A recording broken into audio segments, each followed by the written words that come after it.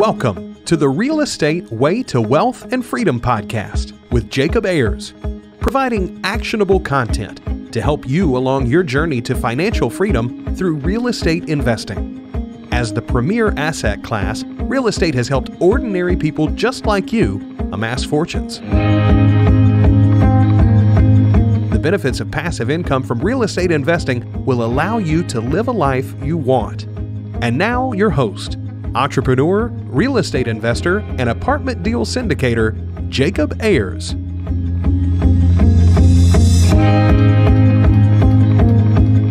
Hi, and welcome to the Real Estate Way to Wealth and Freedom podcast. I'm your host, Jacob Ayers. Today's guest is Mario Mazzamuto. Mario is a coach, builder, best-selling author, and black sheep, self-proclaimed. So I'm excited to bring Mario on the show. Mario, hey, thanks so much for joining us.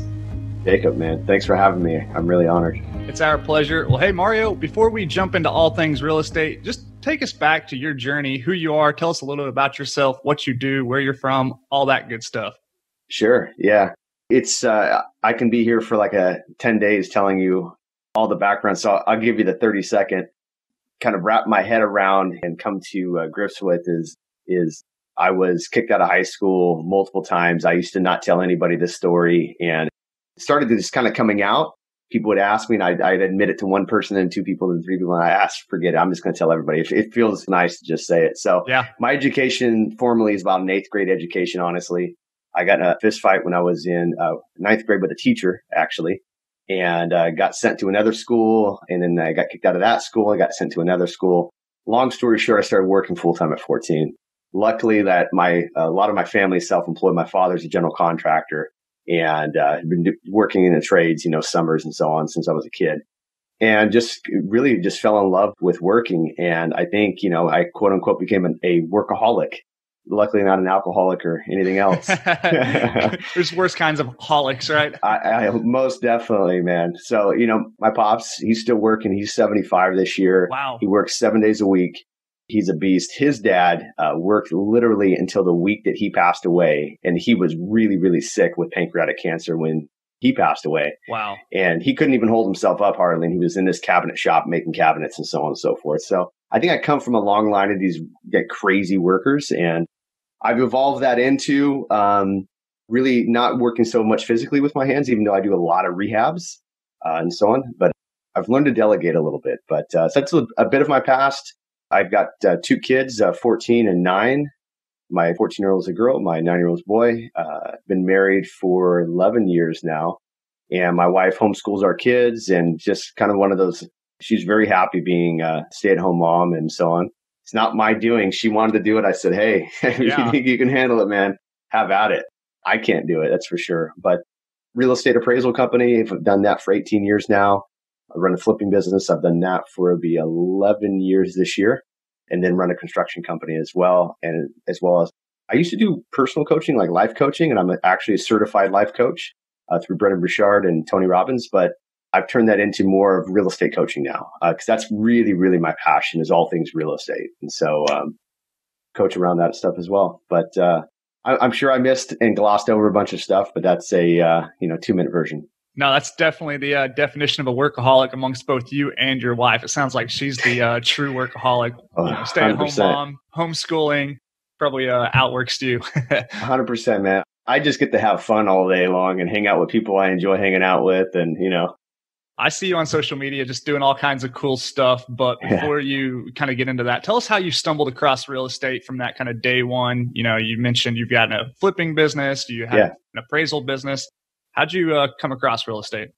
Yeah, so although like with my dad, although he's in construction, he made a lot of his money in real estate. And so my family is uh, I'm first generation here. My dad came from Sicily when he was 9 years old and uh, his family, you know, him and his parents scraped together money and literally started buying properties together when he was a teenager. So my dad bought his first place in an income property at like 17. So I kind of got that bug from him, right? he built many of his own places and he's managed all his own places, still owns rental properties, but it's like, you know, single family here, duplex there, fourplex there, nothing ginormous. So I think I got that bug from him. And then really it was I had a really cush job. When I was a teenager, I was building custom home theater systems for celebrities, basically, right? That's and cool. so I, I, yeah, it was, it was a neat job. It didn't pay much, surprisingly. I mean, we worked for billionaires. I am not just going to throw out names, but let me just say we worked for billionaires. I'm here in the San Francisco Bay Area, so we have plenty of them here. But it didn't pay very well, and it was a very tough job, surprisingly. I mean, that caliber of customer, very hard to please. Yeah. So really, I was grinding all the time, and I just was getting sick of it. I saw my dad's business. He doesn't leave town. We have a small town of 40,000 people. He literally doesn't leave town, hasn't left town for 20 years for work, I'm talking about. Where me, I was traveling three, four hours to the all the way in the South Bay in the Bay Area and so on to do work. And I started looking at that and I said, you know what? I think I want to get into real estate and kind of back in maybe to what he's doing. Long story short, I met a guy who was an appraiser and that's kind of how I started that journey. Had to go get my GED before I started to do that though, because I realized, oh shoot, I don't have anything. So got that, got my appraiser's license, started grinding. And then the reason I wanted to get into the trades is the same thing I tell people now. Hey, I want to get into real estate. I want to start flipping. I want to, you know, do this and that. And I say, what do you do for a profession? Oh, you know, I'm in IT or whatever. And I say, I think it would benefit you to go get your real estate license. If you want to be an appraiser, get your appraiser's license. Something that's in that area. And the reason why is because you're learning while you're making money. And so I wouldn't be nearly good at what I'm doing right now if it wasn't for me learning on the job, really, and learning from other people. And then, you know, you really just have to have a passion for it. So there's plenty of people who want to get invested involved in real estate for the money aspect, but they don't really like real estate. And I say, well, it's not the right investment for you, not the right avenue, because you really have to like it. I mean, I could talk about it all day, every day. My wife gets absolutely sick of me talking about it. And this is the reason why I have groups of guys that I hang out with consistently and constantly that are real estate dorks like me, because you have to really like it. Yeah, I completely agree.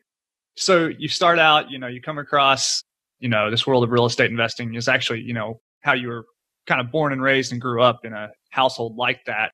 Decide to get your appraiser's license, first step GED. So you did that for a while. Now you're actually flipping homes in the San Francisco Bay Area. So to anybody out there thinking they have an excuse of, you know, they live in a hot market with expensive real estate, probably not going to work with you, right?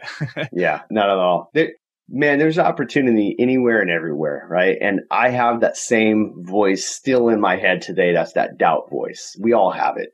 The goal is to really silence that as much as possible. And so you silence that voice with positivity, with affirmations, whatever you want to call it, right? So mm-hmm. anybody can do anything and there's no excuse for anybody. And we, I've made a million excuses in my lifetime. And, but yeah, it doesn't matter what the price point is at the end of the day. It really doesn't. It's not and you don't have to be rich to do this. You just have to be able to raise the money. And I never had any money to start with. When I started, I didn't have a dollar. And my very first deal, I don't know if you want to get into that yet, but I'll tell yeah, you about my it, first. Yeah. All right, cool. So my very first deal, 2009, I'm really wanting to flip. I'm watching all these other people flip. I was a consultant for the biggest flipper in California. Okay. They would bring me in once a week, sit me down on this round table 30 other people, big screen TV on the wall. And I was analyzing everything from an appraiser's perspective. How much do you think we should have bought this property for? Why is this property not selling? Blah, blah, blah. So I'm learning again while I'm on the job, right?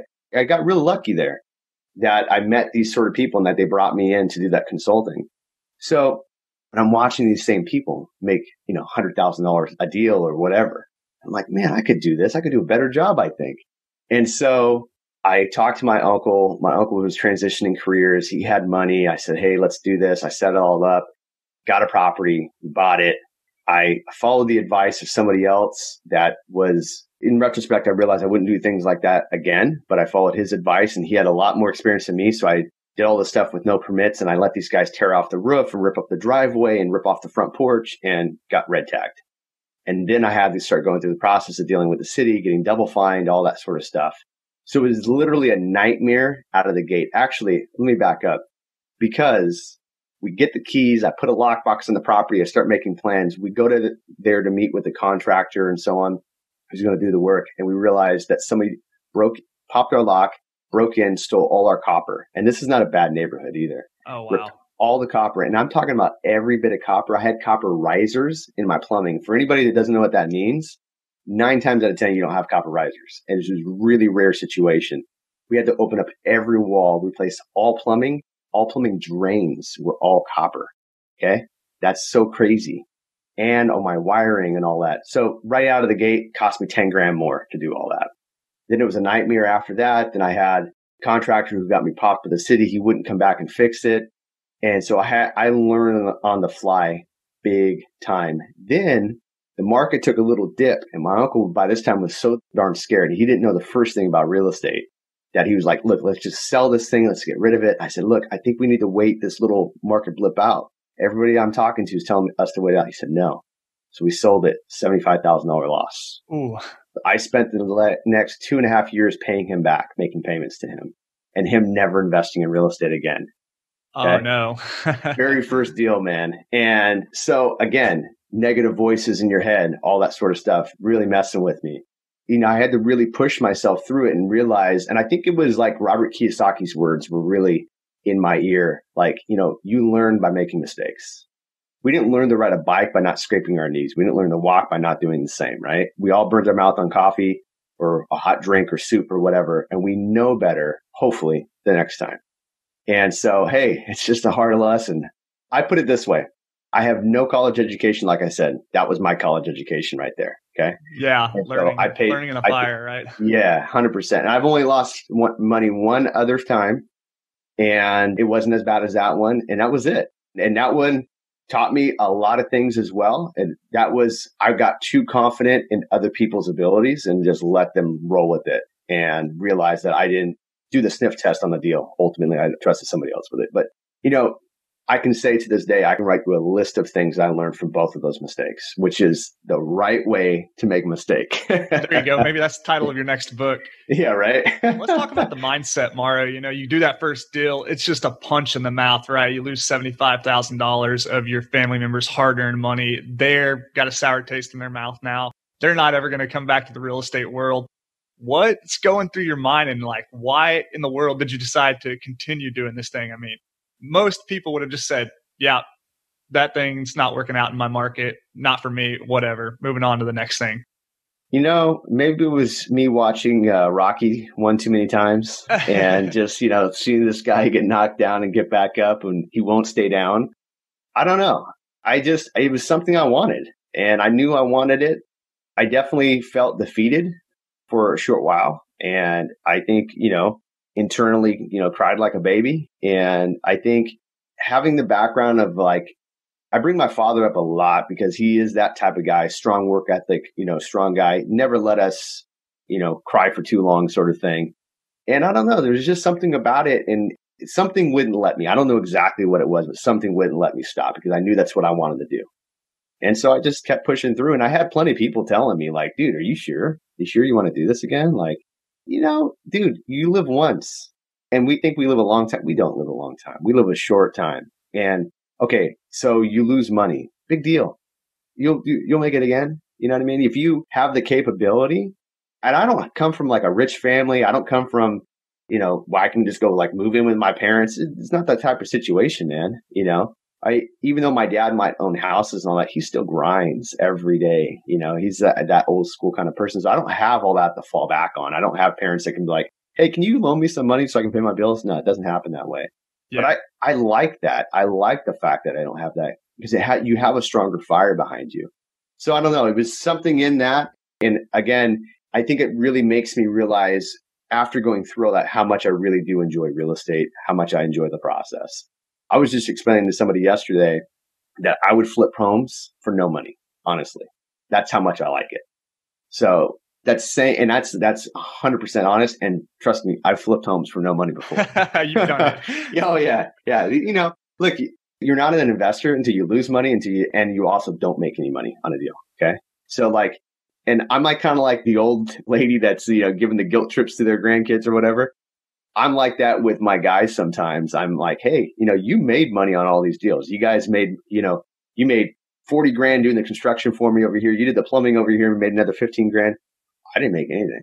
Right. But hey, I'm not complaining. I'm not complaining. I love it. And I'm glad that you guys made money. It makes me feel good that you guys made money, you know, but it's like, and I do that for a camaraderie, you know, situation too. And just to let them know too that, you know, I'm not constantly just like crushing it over here because when people hear numbers of, oh, what'd you buy it for? What'd you sell it for? Dang, you killed it. Yeah, right, right. There's more money in there than you understand. There's realtor fees. There's money fees just to borrow the money. There's fees involved here, right? So a lot of people don't take all these fees into consideration. And when you look at the bottom line, you're like, you know, it's good. It's not as good as it sounds like.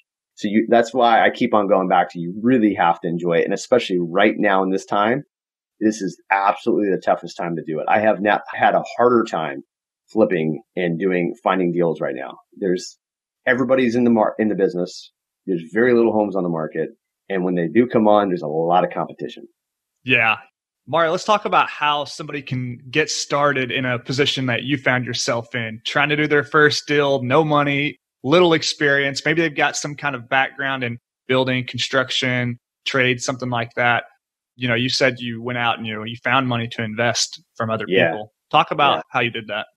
I would say the number one tip I would have is don't be adverse to partnering. I partner all the time still.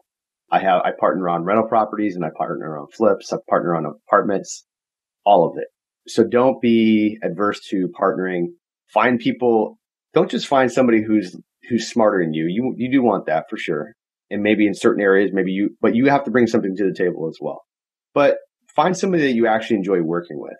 Cause I've worked with people that I don't enjoy working with and it is tough, man. It's just like having a job that you don't enjoy. It's, you don't want to get up in the morning. You know, it yeah. makes it very difficult. If you can honestly have fun with the people that you're working with, it all goes so easy. And if I could do one thing again, I'd learn to do that better and surround myself with people that I really love hanging out with and just, you know, fire those and get rid of those who don't. So that's the first tip. The second is there's so many resources out there, like your podcast. You know, there's podcasts, there's books, there's groups, which are great. We're going through COVID right now, so it's a little harder to, to you know, be shoulder to shoulder with these groups, especially for us guys in California. They're not opening anything up yeah. right now but they're still online groups and a lot of these things are free or close to free. You can go to just look up real estate investor uh, associations or real estate investor groups. Go to meetup.com. That I would say when I started doing that myself, that's when it really, you know, huge growth in my business, just really getting around other people. And that led and opened up so many other networking doors for me. It led to me being I'm a member of this group called GoBundance, which is a national group.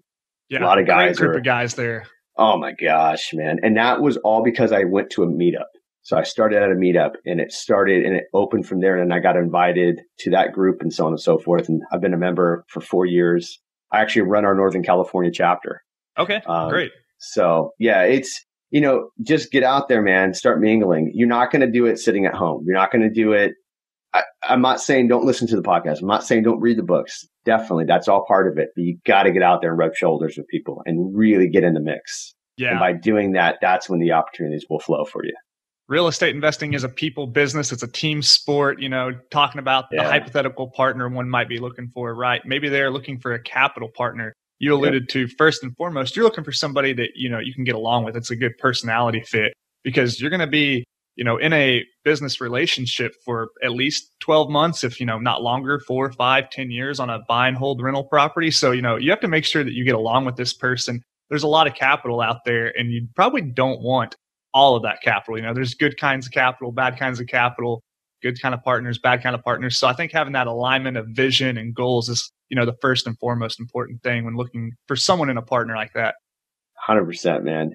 What we all need to understand is that that's a relationship just like a marriage just it's different and you got to treat it as such. If you don't that's when people fight and they go to court and they get divorced and they you know split and that's not the way you want to do it because you eh, lose money you pay a bunch of attorneys. They get rich not you and your partner.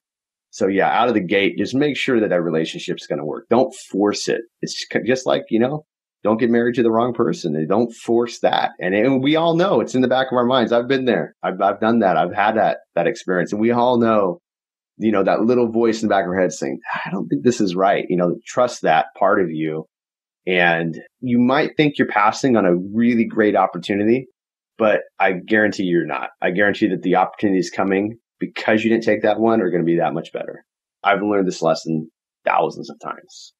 Couple things you've talked about are, you know, getting out there, networking with people, and then taking action. Right, like you said, you learned so much from that first deal. Had you, you know, you know, just elected to try to read books about flipping, you know, you would have not learned all these mistakes you did by actually getting out there, doing a deal, making your own mistakes. And then also the networking piece, right? You know, you talk about the importance of, you know, surrounding yourself with a bunch of guys who, you know, like to talk real estate or, you know, your GoBundance network. So talk about the importance of that networking piece. Yeah. So here's the way that I describe a network. We as humans, we can learn in a lot of different ways.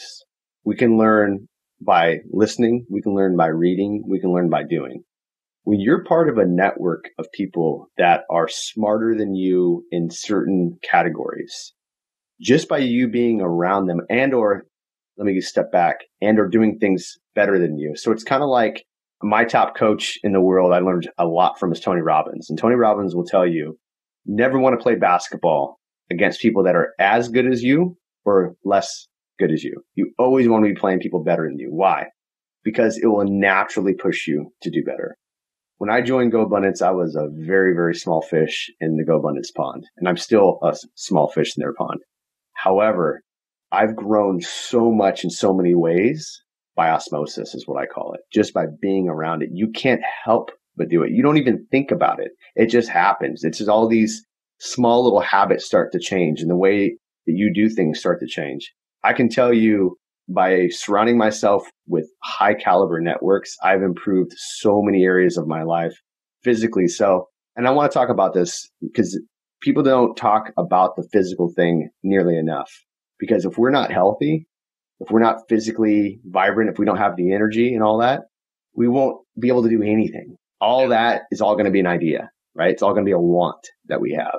Yeah. And so if you don't have that physical health, when I um, first joined GoBundance, I was about 200 pounds, uh, 26, 27% body fat.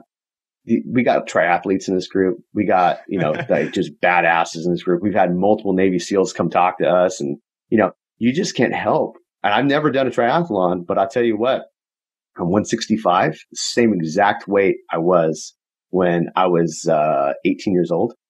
And I'm 11.5% body fat right now, something like that, and never been healthier. I'm 38 years old. And it was important to me. I said to myself, I want to be as healthy as I can be before I hit 40. My kids, I want to be able to keep up with them. Once you hit 40, if you know anything about health, your health starts to deteriorate pretty quickly. It's 30 is the 40, but 40 is like that, that real big, what they call like over the hill, right? And uh, I have never felt better, honestly, in my life. But that's really, really important because I can still keep up. Like last night, I got like five hours of sleep. Man, I feel like a million bucks. It's it doesn't bother. And I'm like an eight to nine hour asleep guy, but I just I had some stuff going on. I just couldn't sleep. But it's okay, you know. It my next day doesn't suffer anymore. In the past, I would have canceled everything and slept in because I can't operate, I can't get by, whatever. And honest to God, this is no lie. I haven't been sick. This year will be eight years. Not a cold, not a sore throat, not a anything. What do you I've gotten rid of to? all that. Diet, exercise, combination. It started with diet. It started with diet, turned into exercise. But I can tell you, I do intermittent fasting every single day. Uh, so it's 1130, 1140 where I'm at right now. I haven't eaten a thing. I won't eat a thing until about three, four o'clock. Wow, that's pretty um, long. Yeah. And it sounds difficult, but when you learn to do it, your body becomes adapted. Sometimes I'm not hungry till nine o'clock at night. And I'm like, seriously, you don't actually get hungry. And so it's not, there's no like, hangry doesn't exist when you do intermittent fasting. And I do keto personally. So my body's burning fat all the time. Yeah. And it's not just like shoving meat in my mouth. No, my, most of my diet is, it's like 75% vegetables, 25%, you know, meat and fat and so on. Mm-hmm. That's that part of it. I have a pretty strict supplement diet where I take a lot of I'm a big believer in mushrooms. I can go on a tangent about mushrooms for really? for a long, very, very, very long time. I'll tell you one thing that few people know about mushrooms is that we are way closely closer related to a mushroom than we are a plant. So a plant takes carbon dioxide, out of the air and converts it to oxygen, right? Right. Humans take oxygen out of the air and convert it to carbon dioxide. So do mushrooms. They're the only living species other than, you know, other like animals like humans Yeah. that do that on Earth. Um, Interesting. I didn't know that. Yeah. When you know, understand that portion of it, and then you consume what's called the mycelium portion of the mushroom nut. So not the sprouting, fruiting body. It's the stuff that's in, interweaving in the soil. That stuff is the immune system of the mushroom itself. So when you take it, you actually adopt their immune system. So I take a complex at 17 of the most powerful mushrooms that people have discovered now as far as immunity goes. And that's for my immune system. I hate being sick, man. I absolutely hate being sick. And I made a pact. I got pneumonia. Uh, so was, you know, when my son was, so he's nine now, he was one years old and he got it too. And we both got pneumonia, super Oh, yeah. sick. Yeah. And I made a pact then. I was like, dude, I'm never getting sick again. How do I do it? Started Googling, started reading books, you know, whatever. And I got strict. I really did get strict in my diet because I said, I, so like this whole COVID thing, it doesn't really bother me because I'm like, you know, I don't think I'm going to get sick. I think if I were to be around other people who had it, if I felt anything, I know when I start to feel, and I felt, I've had that feeling, I'm not going to lie, of like, I think I might start getting sick. yeah. So I just like go crazy with my like regimen the Vitamin next day C and the whole nine yards. And vitamin C every hour, every hour. So that it, so if anybody's feeling anything or you think you're getting sick, start taking vitamin C every single hour. Get a high, get get a good quality whole food vitamin C. Take it every hour. That Wow. is 100 percent. Vitamin D levels you should be having 5,000 to 10,000 IU's a day for the average person. Get your blood tested. Take vitamin D. But those two vitamins right there are way. Nobody puts enough value on those things. Throw in some good mushrooms, change your body's alkalinity a little bit. Greens, I eat a lot of greens. I take green powder shakes and stuff like that. And I'm not like some weird like vegan who eats tofu. I'm sorry, I'm not trying to offend anybody, but no, no, you know, you're good. I can't get by without eating meat and stuff like that. And I'm not a person who absolutely loves vegetables. I have to enjoy what I eat, and I do absolutely enjoy everything that I eat. So again, just like the relationships what you have with your business partners, make sure you're really enjoying your diet. Make it fit you, and don't tell anybody else. Don't let anybody else tell you that that's not the right way to do it. Hey, you know what works for me, dude? That's all I gotta say. Yeah. You know, I love it. I didn't know this was going to turn into a health podcast. Sorry, man. No, I love it. It's good know. you know, I think you bring up a really good point. You know, we can talk about real estate and wealth and the tactics of, you know, different strategies and how to flip houses and the nuts and bolts of things. But if you don't have your health, what's it worth, right? Like, I mean, nothing. you're not going to be doing that stuff if you don't have your health. And if, That's you right. don't have your health, then why are you even starting at B when you need to focus on A, right? So 100%. great points there. Do you have a do you have like a resource or a place you've learned a lot, maybe around particularly the mushroom topic? Maybe Mhm. somebody could go to and learn more about Absolutely. Google a guy named Paul Stamets, and. Oh, okay. um, yeah, I've heard of Paul- him actually. Paul's been on. I've known about Paul for about 15 years now, but he's recently been discovered by Joe Rogan. Tony Robbins has had him on and speak at his stuff. Tim Ferriss uh, also had him on his podcast a few times. And he's become very mainstream now, but he is a freaking mushroom genius. He actually just made a movie about mushrooms. It's on Netflix right now. So like, like the dude, like you'll go down this deep rabbit hole about mushrooms and he'll blow your mind with the importance of mushrooms and all that. Uh, beyond that, I'd say, man, just uh, there's a few. Dr. Andrew Weil is, is very good. I like his stuff. If anybody's, you know, if you like like a Joe Rogan or a Jocko or any of these guys, they all know how to stay healthy, and Yeah. so they all have good people on. Dr. Rhonda Patrick, they have on a lot. She's phenomenal. So, uh, they, dude, the resources are there. You know, they're all there and they're free. We don't have to go to the public library and check a book out and then force ourselves to read it anymore. We can listen to, you know, like a world renowned comedian like Joe Rogan, just like crush it and have fun listening to it and learn something all at the same time. Sometimes I almost feel guilty how easy it is to get information when I come across a subject that I don't know anything about, like Yeah. take this mushroom topic, for instance, right? I've got no excuse not to know these things because I could easily just pull it up on my phone right now or Yeah, look at my laptop. I mean, you've got the world at your fingertips. No excuse not to know things. hundred percent, man. We're all walking, you know, eating, breathing billionaires right now in the essence with what we have at our fingertips. You want to know how to do something? YouTube it, dude. Somebody else has already done it. They'll teach you for free. You know what I mean? Yeah. Well, tying this back to uh, you know, real estate and, and that whole topic, you know, real estate investors in my perspective, sometimes have a lack of balance in their life. You know, maybe mm. they're the workaholic, you know, they're mm-hmm. Neglecting their health or their family life or whatever. Yeah. How have you managed to kind of keep all those things in balance? I know that's a really big, sure. big component of GoBundance. And just as a side note for the audience members that maybe this sounds familiar, we've actually had co-founder of GoBundance, Mike McCarthy, on the podcast. Oh, sweet. Uh, so if that sounds familiar to you, that's why. So yeah, that's awesome. I didn't know you had Mike on the podcast. Yeah, Mike's he's a great guy. Yeah, Mike's a good friend of mine. Awesome guy. Yeah, so balance, man. I've learned a lot through that group for sure. But I also learned early on that you're never going to be fully in balance and you got to let yourself off the hook for that. Because it's kind of, I'll bring up another Tony Robbins quote. You know, it's that whatever you put energy in, that's going to expand. And so we can only put focus on certain amount of things. So where you know where focus goes, energy goes, or or flows is what it is how it goes. So it's okay to you know one day you focus on your marriage, and the other day you focus on your kids, the other day you focus on your health. We have to learn to do that all in one day, right? Ultimately, that's what balance really is. And I think if we're honest with ourselves and we take a step back and we say, why are we doing this? Why do I want to invest in real estate? Why do I invest, want to invest in anything? I want to invest my time to learn to do all this stuff. Okay. Well, I want to do it for money. Why are you doing it for money? Oh, I'm doing it for money for my family, for my kids. Maybe I can give my kids something better. Or maybe I can just enjoy it, you know, myself a little bit more. Okay. So then how are you able to enjoy it if you don't take the time to enjoy it? Right.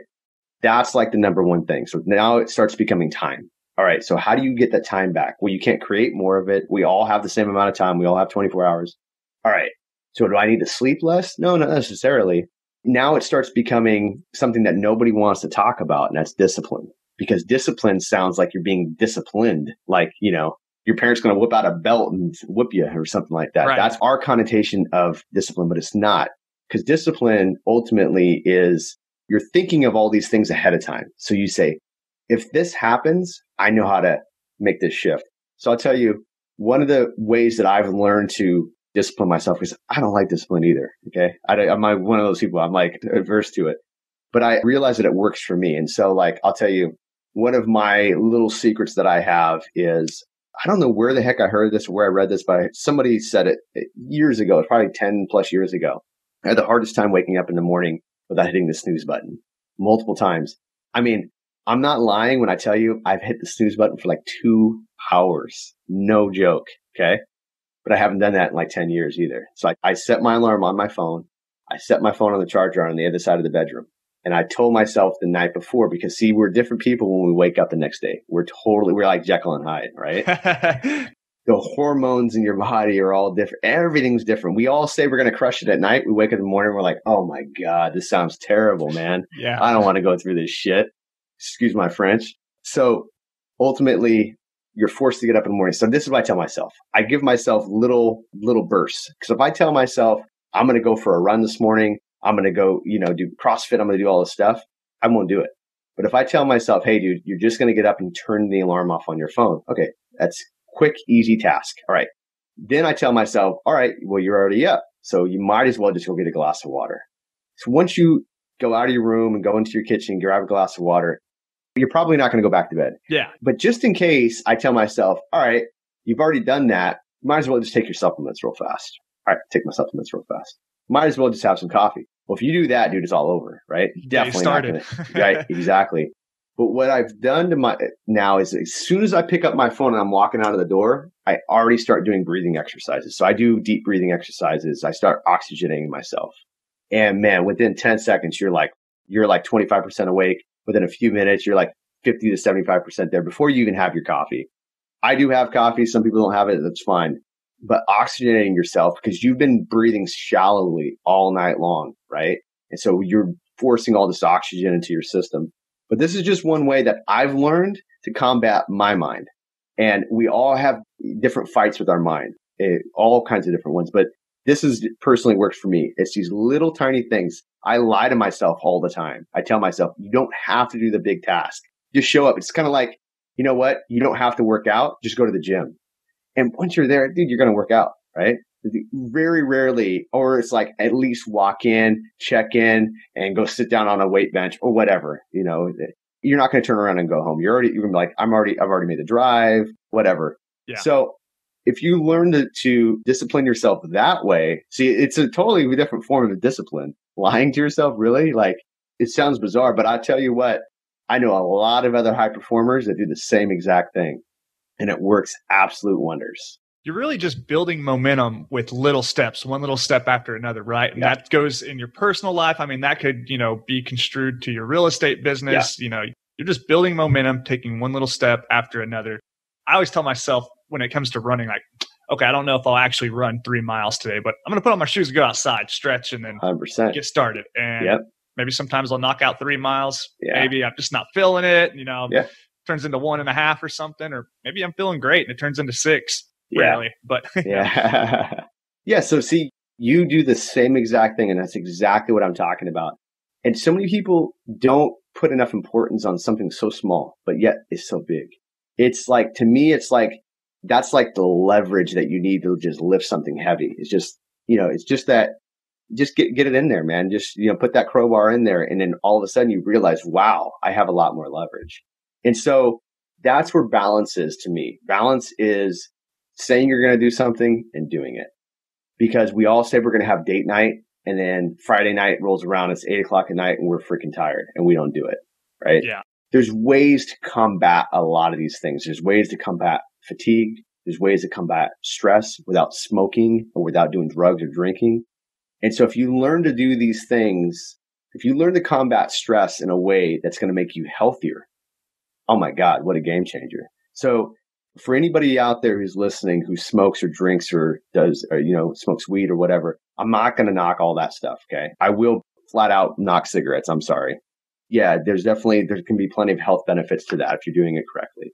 But if you're doing it constantly to numb yourself, you're doing it constantly because you have such a stress level, it's not ultimately, you're never really going to recover from that. But there are natural positive ways that you could take that stress level and bring it down. And it will actually make you healthier on top of all that. And so if you have all these things, then it makes life so much easier to balance. And when your significant other is upset with you about something, rather than go into that fight or flight mode, you're going to freak out and yell right back. You know, maybe you'll be in a position where you'll say, you know what, I'm going to listen because they're not emotional for no reason. They're emotional for a reason. Okay.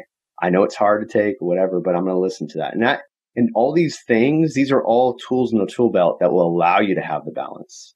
And it, I'm going to go back to your network and the people that you hang around. If you hang around people that all have failed marriages, chances are you're going to have a failed marriage. If you hang around people that are all very unhealthy, chances are you're going to be unhealthy.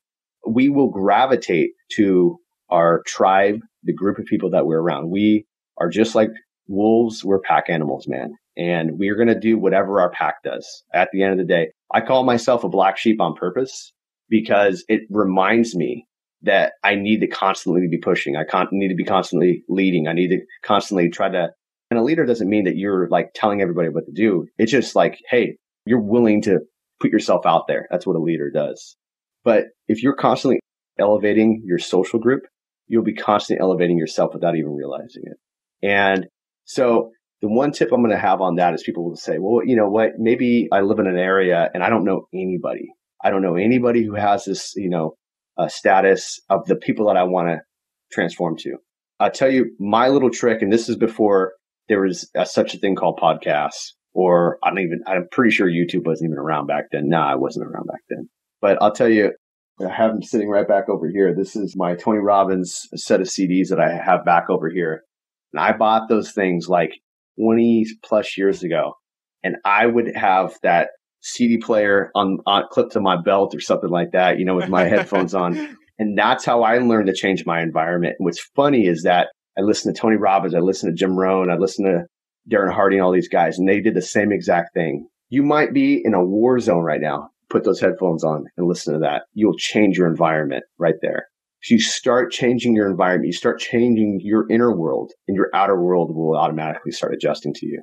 I love it. So true. Yeah. You know, uh, we had Mike, I name dropped him already, you know, on the podcast. I'll have to go back and look at the episode number, but we had him on because he co authored the book Tribe of Millionaires. And that's the Yep. premise of that book, right? You know, Mhm. having a tribe, you know, you going back to that philosophy Jim Rohn quote, you are the average of the five people you spend the most 100%. time with. You're right. Sometimes people are in an environment where physically they don't have anybody doing what they it is they want to do, right? But in today's world, you know, we're on a Zoom call, you know, you can get online, you know, connect with people, social media, YouTube, all these different things. So, you know, you can have mentors and people who are elevating you that you don't necessarily even have to know. 100%, man. That it's so true. You, we have such easy access to all these people. The only reason that we're not doing it is because the excuses that we said that we can't do it. That's it. That's the only reason why. We all have access to it. You know how many homeless people I see with cell phones? I mean, these are like full blown homeless people. They have cell phones, right? They don't cost that much anymore. And so if you have a cell phone, you have a, especially a smartphone, you have literally the world is at your fingertips right there. The only thing that's stopping you from getting it is the excuses you're making for yourself. That's it. 100%. Yeah. Let's, I kind of want to go back and touch on the topic that uh, I wrote down here. So we're talking about physical health mm. and mm. I also want to talk about mental health. You know, you talk about as real estate investors, you know, we're always trying to grow and scale and do more and hustle yeah. more and, you know, try to squeeze more hours out of the day. That kind of can drain on your mental health. You know, you feel like you got to catch up with, you know, the people you see on social media and you got to keep pushing and you're stressed and you're not kind of enjoying the fruits of your labor. Talk about how you've balanced that and what's your perspective there? Yeah. So, really, with the mental health game, I think A, it's important that we are able to do things that we actually want to do, no matter what somebody else thinks, no matter what somebody else could be saying about it or whatever on social media. And so that tip right there is I might post a lot on social media because I do, but I don't read a lot on social media. I read a few different people that I like to follow and I'll mute those negative ones. So, you know, turn off as much negative as possible. I'm going to keep going back to it with the tribe stuff. You get to choose your friends. You don't get to choose your family. And we all have family that may be draining us. And you don't have to flat out, you know, just attack them and say, I'm never talking to you again, but maybe just shorten that conversation with them in a nice way. What I decided to do, I have a lot of negative people or used to actually. They're not, they're not so negative anymore in my family. And what I would always just say is I'm just going to elevate if if I'm walking into a group, my goal is to elevate that conversation. My goal is to elevate all of it. And so I'm going to if hearing people talk negatively, I'm going to figure out some way to just put a positive spin on it. And it's interesting. You build that momentum. And so that's one key right there. You have to get, give yourself time and don't feel guilty about giving yourself your own time it's a conversation I still have to have with my wife all the time because she gives herself 100% to me and the kids. And I tell her, look, man, if you do that, you're not going to be there and be fresh for, for us at all. Right. And so we all have to take our breaks and have some. And I personally like quiet time, you know, like literal quiet time. Maybe reading's the only thing that I'm doing at the time or journaling or something like that. But when you can turn off all the distractions and take five freaking minutes for yourself, not sleeping. You're still awake when you're doing this, but five minutes is going to make all the world difference. So do, do things that you enjoy doing. If you can choose between two things that you enjoy doing and one is going to be unhealthy and one's healthy, go the healthier route.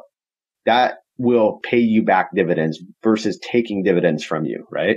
Yeah. And so it's kind of like, I'm going to talk, I'm going to make that kind of like the Robert Kiyosaki Rich Dad Poor Dad book. He said, there's an asset and there's a liability, right? So the asset's kind of like the healthy route. The liability is like the unhealthy route. Right. That's the way I look at it. You know, it's pretty cut and dry. And honestly, there's there's two different paths. So for me too, the physical stuff, I don't do a whole heck of a lot of it, man. I do a little bit of it throughout the day. So like before our call, I'll tell you one of my little secrets I do. This is by watching and going to a lot of different Tony Robbins events and seeing how he stays on stage for 20 hours at a time. Yeah, he's got a lot of stamina dude, and he's like six seven and like two hundred and sixty five pounds, right? Yeah. Big guy. But you'll see that what he does is he gets you out of your seat and gets you moving. Before me and you jumped on this call, man, I spent five minutes moving, jumping up and down, jumping jacks, doing deep breathing. And so I periodically do that throughout the day. I probably end up doing 500 to 1,000 jumping jacks on most days, honestly, but never in one stretch. I'll do 50 to 100 at a time but I'm constantly doing. I'm at a stand up desk right now. I was just going to bring that up to the audience members that can't see. You're standing up right now, making yeah. me feel a little guilty. I need to get a standing desk and, it's, and stand up right. these. But yeah, no, that's great, and uh, just keeps your energy levels up throughout the day, right? So it does.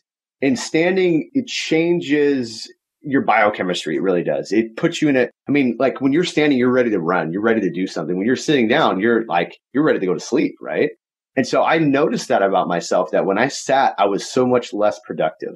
And I was, and the standing thing was just kind of coming out. I went a little too far with it. I built a standing desk on a treadmill and then I injured my, I literally injured myself because I started walking barefoot on this thing and I got really bad plantar fasciitis on my right foot that still actually screws with me to this day. And that was like 10 years ago. Wow. But just by the standing desk alone, and and don't push it too far, but uh, mine's an adjustable one that goes up and down. So that's one of those ones too. But taking a little bit of time for yourself, taking a little bit of time for yourself physically, taking a little bit of time for yourself on some mental stuff. And again, you have to enjoy it. I used to give myself crap because I wasn't listening to Audible enough and I was listening to too many podcasts. And I realized, you know what though? I learn way more in most podcasts than I ever do on Audible. It's so much more interactive and it's, it fits what I like. So I'm just going to cancel my Audible. I have enough Audible now. I probably have, you know, 30 books I haven't read yet or listened to, but I chip away because I also read every single night and I haven't missed that reading, honest to God, for like 15 years, every single night. And it just becomes a habit and a routine.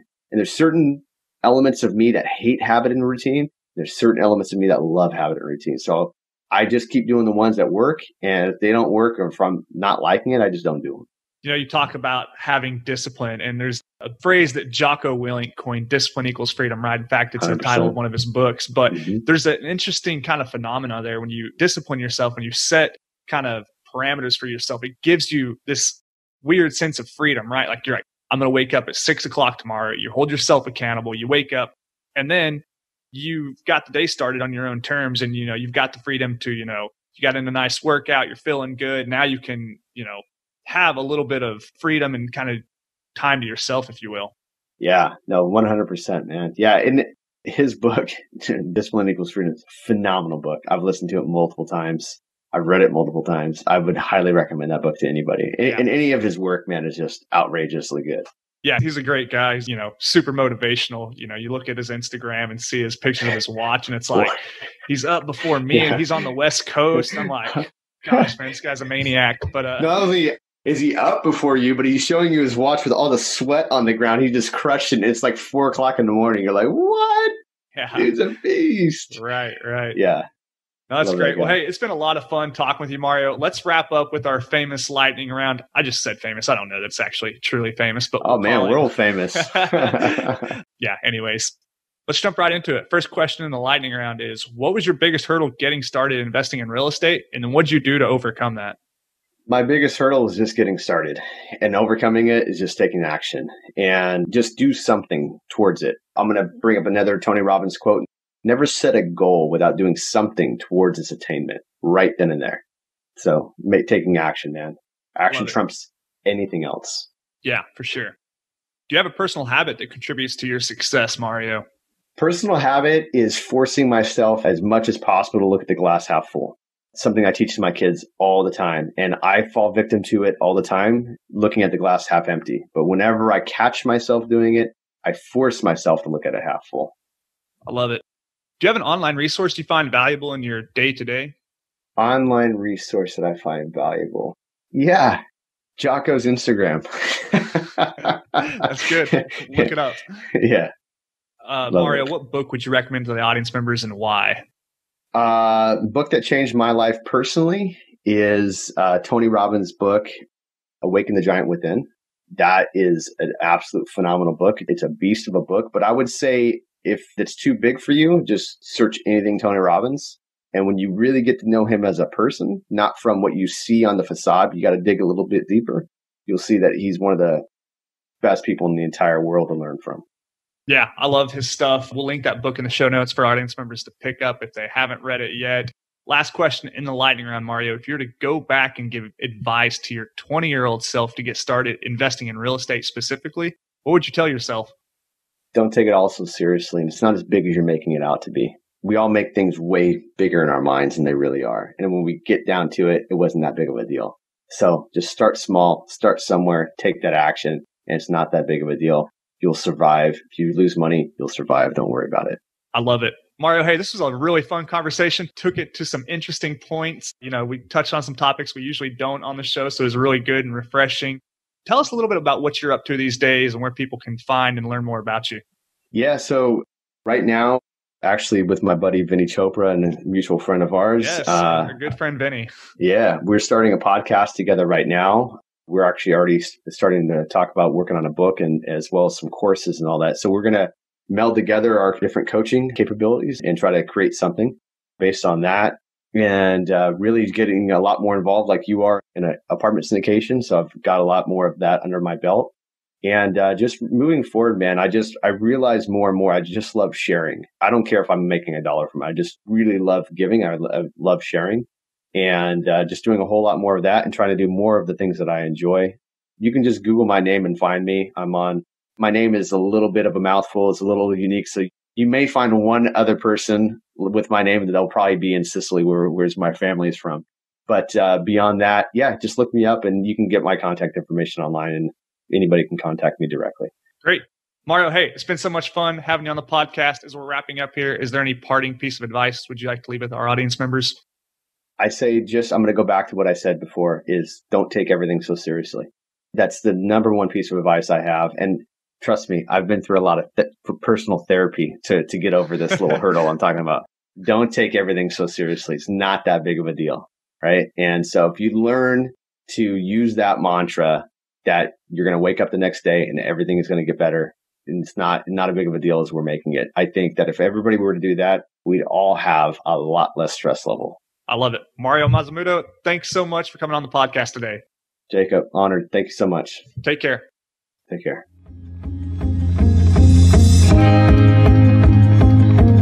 Well, hey, what a great conversation that was with Mario Mazzamuto. We got into some topics we don't usually discuss here on the podcast, things like health, fitness, nutrition, etc. Lots of great stuff. That's one of the many benefits of speaking with new people is you get to hear their perspectives and take away little golden nuggets from the conversation. So, I hope you got so much value from today's podcast. If you want to learn more about any of the resources or things we mentioned in the show, you can find those in the show notes. As always, for more information, resources, and to connect with me, you can do so at www.jacobayers.com. Until next week, engineer the lifestyle you want. You've been listening to the Real Estate Way to Wealth and Freedom podcast, providing you actionable content to build your real estate empire. Nothing on this show should be considered specific, personal, or professional advice. Please consult an appropriate tax, legal, real estate, financial, or business professional for personal advice. The opinions of guests are their own. Information is not guaranteed. All investment strategies have a potential for profit or loss. The host is operating on behalf of the Real Estate Way to Wealth and Freedom LLC exclusively.